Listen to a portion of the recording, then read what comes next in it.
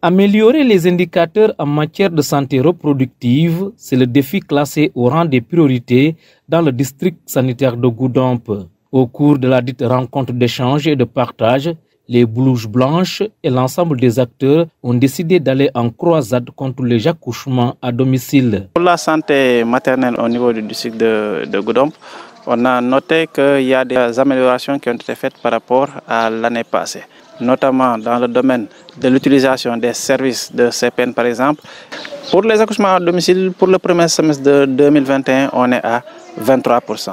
On voit que quand même c'est élevé. Alors que euh, pratiquement on a 19 postes de santé et 2 centres de santé. Seulement, l'espoir de parvenir à bout de ce phénomène passe par la promotion des visites prénatales et le renforcement du parc automobile pour faciliter les évacuations sanitaires souvent problématiques dans la zone. Pour les évacuations sanitaires également, on a d'abord remarqué que au niveau de notre district, on n'a pas de structure qui peut prendre en charge les situations qui nécessitent une prise en charge opératoire. Donc, on a deux centres de santé, mais ces deux centres de santé n'ont pas de bloc opératoire.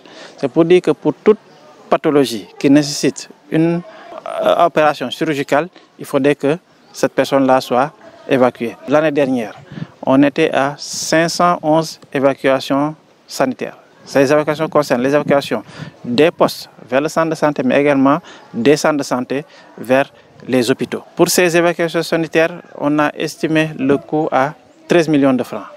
Et on sait que ces évacuations, d'une partie est portée par le district, l'autre partie qui devait être portée par les collectivités territoriales ou les CDS est en partie supportée par les populations. Et cela fait en sorte que des fois, il y a des retards lors des évacuations, mais aussi il y a des surcoûts liés au traitement des malades parce que de temps à autre, les malades participent à l'évacuation. Et cela, euh, comme je l'ai dit, n'est pas souhaitable. Il est vrai que les questions sanitaires restent une compétence transférée, mais seule la participation communautaire et la volonté des élus locaux peuvent améliorer les indicateurs, rappelle Baba Wilan, l'adjoint au préfet de Goudompe. MCD nous a fait comprendre que les évacuations sanitaires euh, annuellement nous coûtent 13 millions et poussière.